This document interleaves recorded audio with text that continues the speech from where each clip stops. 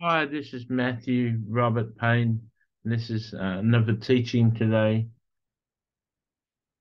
I've got a a couple of uh, passages uh, in uh, 2 Peter to discuss. It's talking about false prophets and false teachers initially, and then we'll skip to later on in the scriptures I hope uh, I just pray that uh, the Holy Spirit uh, would be with me and uh, and uh, give us illumination on these words. Um, so, uh, chapter two says, "For prophecy never came by the will of man, but holy men of God spoke as they were moved by the Holy Spirit." So then uh, goes on to say, but there are also false prophets among the people, even as there are false teachers among you, who will secretly bring in destructive heresies, even denying the Lord who brought them, and bring on themselves swift destruction. So um, I I have uh, been witness uh, to people uh, preaching uh, the um, hyper grace message, and they teach that um, that all has been done and uh, it's it is finished, and uh, they quote uh, Jesus on the cross saying everything uh, for salvation has been finished. So they don't uh, believe in a continuing work of a Christian. They don't uh, believe that a Christian should work out his salvation with fear and trembling. they don't agree that uh, a Christian uh, should live a righteous and holy life. Uh, they uh, believe that any uh, works are works of the flesh, and they, they don't believe that you can do anything to inherit salvation. They believe that when you said the sinner's prayer, that's fine. Um, some of these false teachers of hyper grace even go on to say that uh, Jesus uh, taught the law at a greater level. And uh, I heard uh, one of them say that uh, Jesus taught the law on steroids. And I asked him, I said, Did you really say that uh, we don't need to obey Jesus? Uh, did you really say we don't need to obey Jesus' commands? And he brought up the, the command of Jesus about cutting your eye out and cutting your right arm off. And she, he said, how can you obey that? And uh, I said, uh, that means something different. And he said, well, uh, all of Jesus' commands are like that,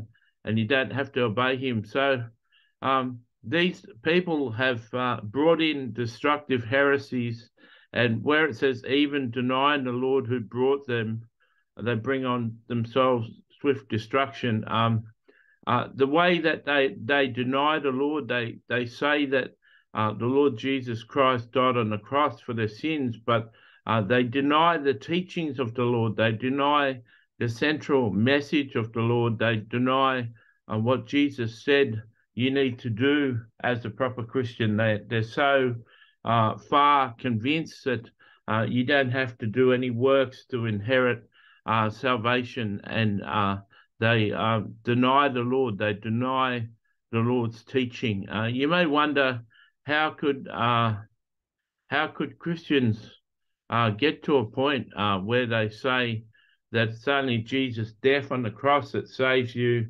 It's not uh, by any righteous acts that you do. They believe whenever you're trying to act righteously, uh, you're uh, doing works, and they're fruitless works because they don't count for anything. Um, and that's what they believe.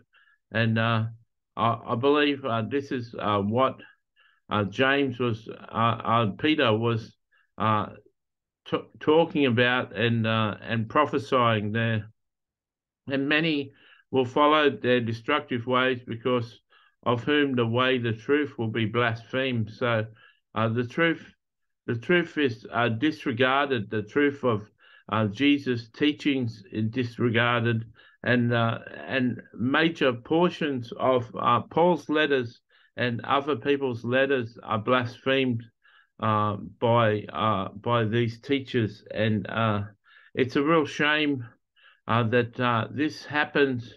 It's a real shame that the the Gospels have been misread and misinterpreted and misapplied, and it's done by people who teach the hyper grace doctrine.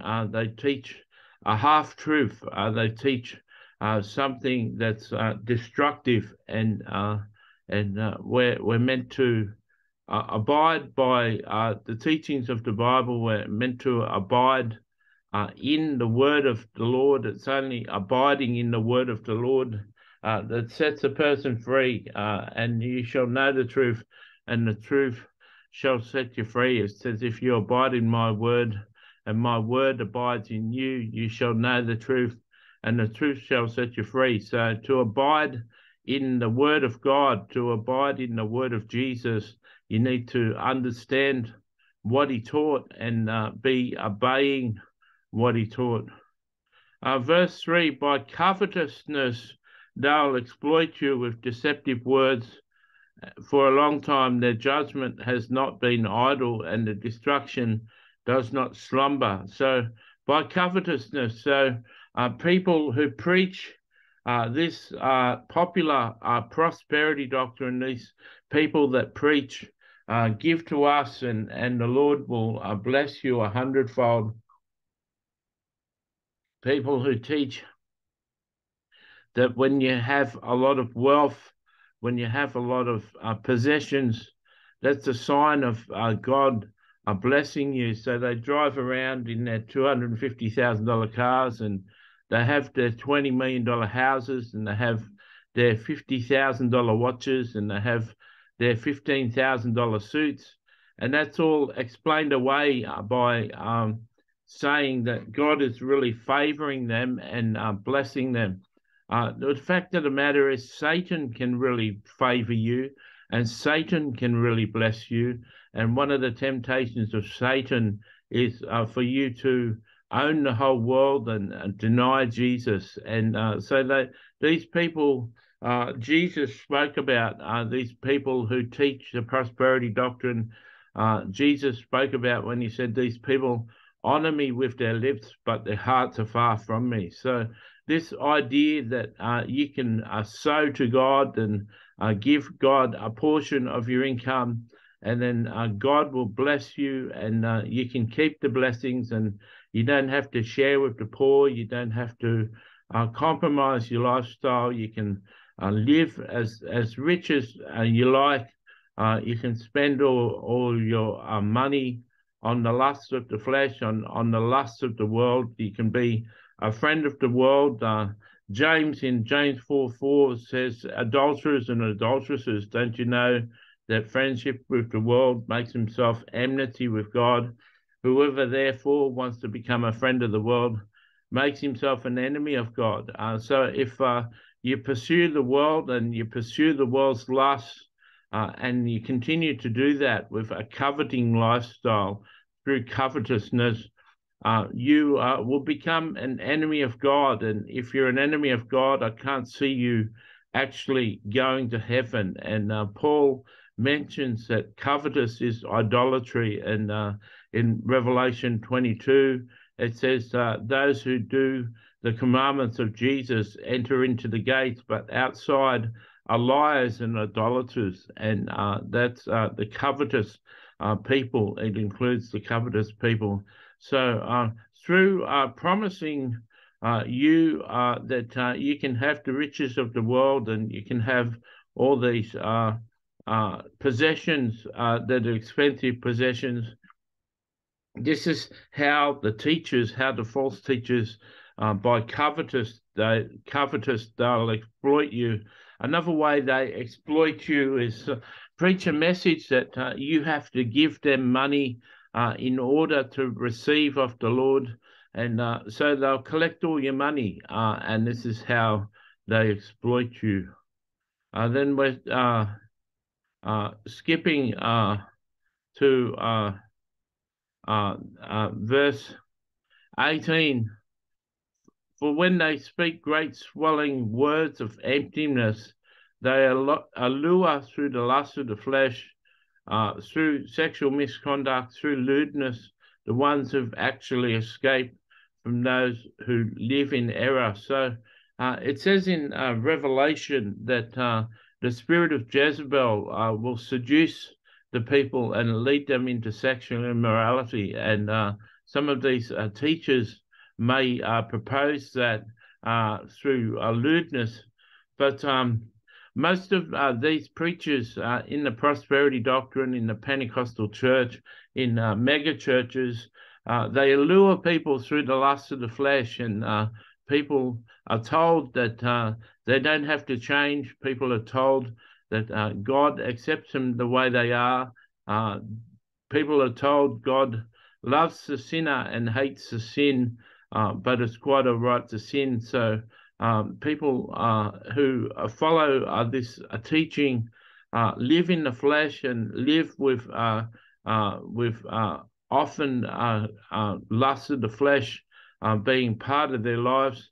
But uh, when uh, they're teaching the prosperity doctrine in particular, they lure people through the lust for money, the lust for possessions, the lust for being as good as the Joneses, keeping up with the Joneses, and uh, they uh, they um, speak great swelling words of emptiness. Uh, Peter says uh, that uh, their words are empty. Their words have uh, no substance. Uh, the words can't be founded on the word of God, the pure word of God. The, the words are empty and lifeless, and uh, they just promise you things that aren't going to materialize. It's a true uh, statement that uh, the prosperity doctrine works for the teachers of the prosperity doctrine, but doesn't work for the participant. I uh, was uh, going through a book of someone who'd written on seven different subjects, and when he uh, taught on money and finances, he said a couple of times uh, in his teaching that these are the principles, but it doesn't seem to work for me. And uh, I thought that was a really uh, true admission. I'd seen him donate five and ten dollars to me and call it a seed. It's as though he was seeding me with five and ten dollars and wanted a ten times return. And uh, all this uh, talk about sowing and reaping uh, most of the times comes from prosperity doctrine, uh, pr- the prosperity doctrine.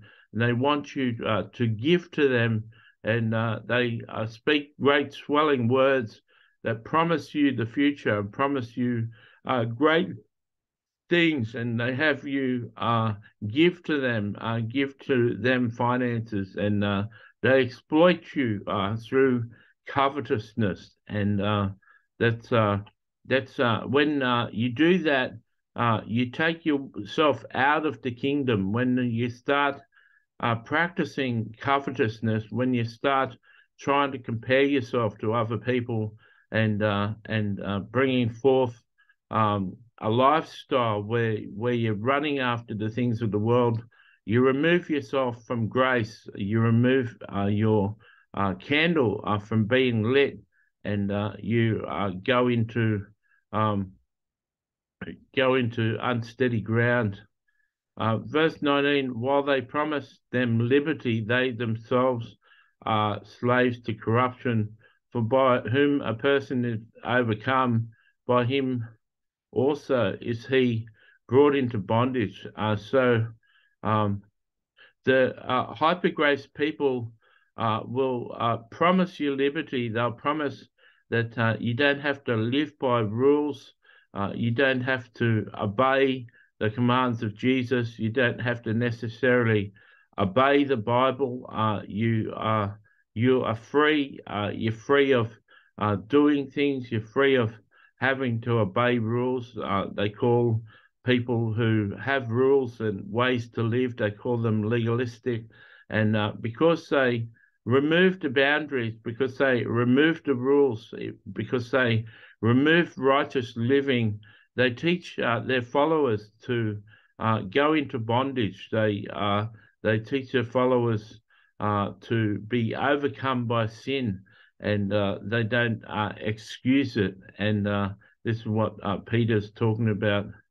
Um, verse 24 If they have escaped the pollutions of the world through the knowledge of the Lord and Savior Jesus Christ, and they again entangled in them and overcome, the latter end is worse from for them than the beginning. So uh, you can uh, come under the teaching of hyper grace, uh, coming under the teaching that uh, you don't have to uh, obey uh, Jesus, you don't have to obey Jesus' commands, you don't have to obey the teachings in the letters of the Bible. you don't have to do anything. You don't have to repent. they say you need to repent from your need to repent. You need to get away from repentance. They don't believe that uh, you need to confess your sins or continue to confess your sins and make yourself right with God. They believe that uh, you can sin anytime you like. And uh, because uh, people who listen to them uh, go into a state of uh, feeling free, they, they cuss and they, they do all sorts of wrong things and they believe that they're loved by God and God loves them regardless. They also uh, teach uh, prosperity doctrine, and people uh, who follow them go into lusting after the things of the world and consuming the things of the world and heaping up for themselves possessions and uh, fall in love with the world. And this is what happens. they've escaped covetousness, they've escaped idolatry and they've gone back to idolatry and covetousness. They've gone back to sinning, and uh, and uh, this is what uh, this verse is saying. They for what for if they escape the pollutions of the world through the knowledge of the Lord Jesus Christ, they again entangled in them and overcome. The latter is worse for them than the beginning. Uh, verse uh, 21 For it would be better for them not to have known the way of righteousness that then having to know it to turn from the holy commandment uh, given to them. So the suffering in hell uh, for a Christian, uh, for someone who's formerly a Christian who lived a Christian life and fell back into a lifestyle of sin, the suffering for them is worse uh, because uh, they'll be ruminating on the verses of scripture that are truth while they're in hell suffering, they'll, they'll uh, constantly uh, be uh, reminded of the right way and the righteous way. And uh, as they're burning, they'll realize that they didn't live that and they were a hypocrite and they went against the true teachings of the word and they'll suffer as they burn. They'll know why they're suffering and there'll be a lot of regret. And that's why Peter says, it would be better for them to have not, not to know the way of righteousness and having known it to turn from the holy command de- delivered to them. So the suffering uh, in hell uh, for a Christian is far, far worse than uh, it is uh, for an unbeliever. Verse 22 But it's happened to them according to the true proverb a dog returns to his own vomit and a sow having washed in a wallowing uh, to uh, having washed to her wallowing in the mire. Um, I heard uh, a teacher uh, teach that uh, dogs have this uh, really innate, strong sense of smell, and a dog can smell unprocessed meat in its vomit. it can go back to its vomit. It can smell morsels of good meat uh, that is unprocessed in their vomit, and they'll go and lick up the vomit. They they won't be licking up uh, the processed part of it uh, by fun. It won't be fun to lick up vomit, uh, but uh, they, they, their tongues are going after the unprocessed meat so they can swallow it and process that meat. And uh, he said that sometimes when you leave a toxic church or you leave a toxic friendship, there's good elements uh, to that church. There's good elements to that friendship. The uh, the friend may be funny, or the friend may be really wise, or the friend may know the word of God really well, and you may uh, like the company of uh, knowing the word of God through this friend, or you may like the jokes, or uh, your fr- the friend who's toxic may uh, spend money on you. There, there'll be some good thing in in that uh, in that uh, unholy soul tie that you have with the person. Sometimes uh, a person will return to a toxic church for those unprocessed uh, pieces of meat, uh, for those uh, good things. And um, and he's saying here that uh, people escape the corruptions of the world, uh, but sin is good to them. collecting things, collecting possessions was enjoyable for them, and they did come away from it for a time, uh, but uh, with uh, false teachers and false preachers, they're encouraged to go back and live that lifestyle of covetousness and go after the things of the world because there's good things in it. and so, um, so a person can be comfortable uh, back in the sin life. They return uh, to their sin life. So I, I hope uh, this has encouraged you today. I hope uh, you've seen some uh, truth uh, in these scriptures and uh, you uh, learned something. And I really enjoyed myself teaching this. God bless.